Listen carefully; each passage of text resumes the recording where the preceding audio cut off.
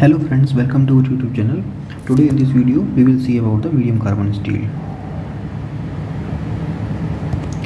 So the use of medium carbon steel in the different places like rail structurals or spring steel.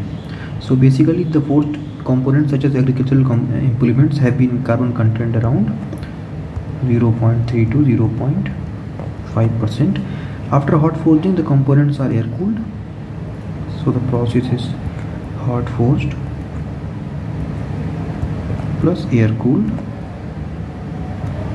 So the final microstructure is fine ferrite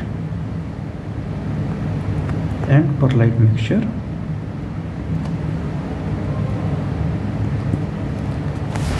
So the real structurals in which this medium carbon steel is used most are like the structural parts used by the railways such as rails, wheels, wheel tire,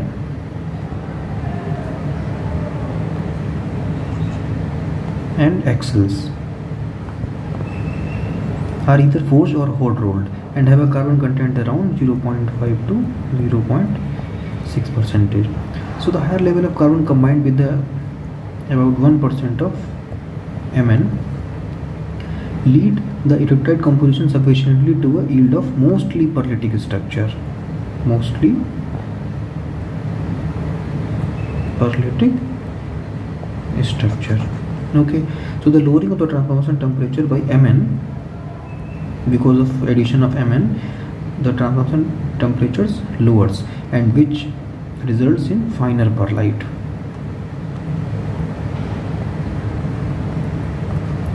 okay because we have seen in the TTT diagram like this uh, temperature time diagram.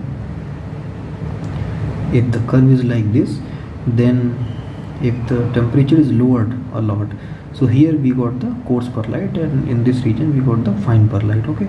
So this is how we got the fine pearlite the lowering of the transformation temperature by MA results in a finer pearlite that we have seen from this curve also now we will see that the uh, weight loss due to the wear as a function of hardness. So the wear as a function of hardness and interlamellar spacing and interlamellar spacing. Okay in pearlite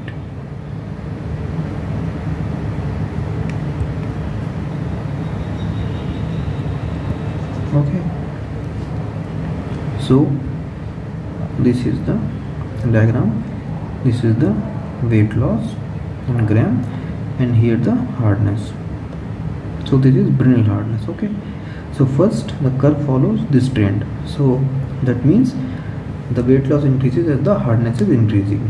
Okay. Uh, sorry. Actually this is the not Brinell hardness. This is pearlite spacing curve okay. In micron. So here we can observe as the weight loss is uh, increasing as the interlamellar spacing is increasing. As the uh, pearlite will be a finer size like this one so the weight loss will also decrease. So this curve shows that the weight loss due to wear of rail steels decreases with the decreasing interlamellar spacing of pearlite okay and if you see this weight loss? Versus hardness? That is Brinell hardness. So that will this curve will follow this kind of trend.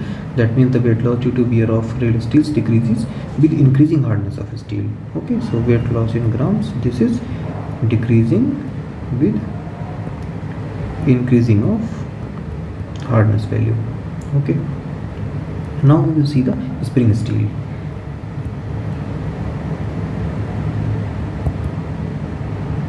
Spring steel. So spring steels have carbon content in the range of uh, 0 0.5 to 0.6 percent also. They are quenched and tempered. Quenched and tempered. So quenching a student to get a high level of yield strength that spring must possess the high resilience property. So that is the quality of a good spring it must be capable of storing a large amount of elastic energy so that it can spring back without any permanent deformation. So the quality of this uh, uh, resilience can be achieved by yield strength by this by so this is should be maximized for this purpose okay so the young modulus is by and this is the yield strength. So the yield strength upon young modulus should be the maximum value. So the young modulus by being a structure insensitive property. Insensitive property. A large increase in the yield strength is the key to achieve a high resilience. Okay so large increase in the yield strength sigma y is the key factor to achieve a high resilience. Okay. So this is about the quenching and all the process. Now tempering.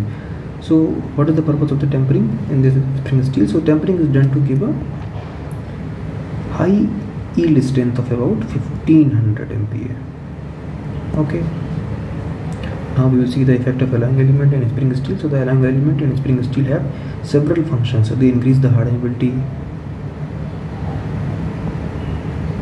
okay. So that the martensite is obtained without resorting the drastic quenching. The presence of silicon alloying element is silicon. So that serves the purpose of retarding softening during tempering okay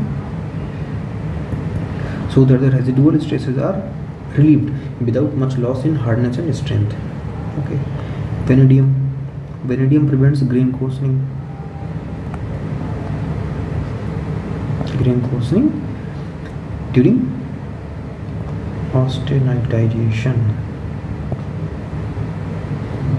And improves the toughness of the steel. And a finer grain size and one more property that fine grain size and prevention of decarburization